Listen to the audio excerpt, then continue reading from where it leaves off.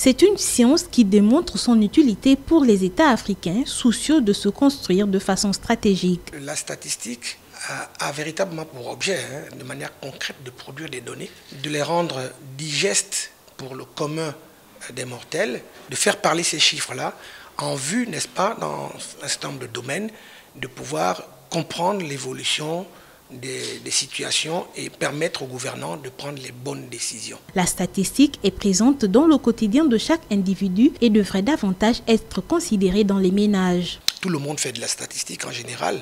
Par exemple, lorsque vous essayez de calculer la moyenne des dépenses que vous faites par mois, c'est de la statistique. La branche, bien que complexe, offre plusieurs débouchés à l'apprenant susceptible de poursuivre un parcours scolaire dans le domaine des mathématiques. Il faut déjà avoir une formation de base en mathématiques qui permette, n'est-ce pas, de pouvoir entreprendre des études en matière de statistique.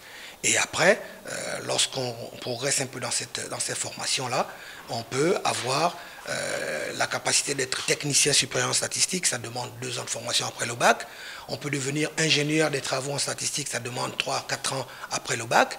Et on peut devenir un spécialiste véritablement des statistiques en étant ingénieur statisticien économiste. Rappelons que la journée africaine de la statistique 2020 a été célébrée cette année sous le thème moderniser les systèmes statistiques nationaux pour fournir des données et des en vue de soutenir la paix et le développement durable en Afrique.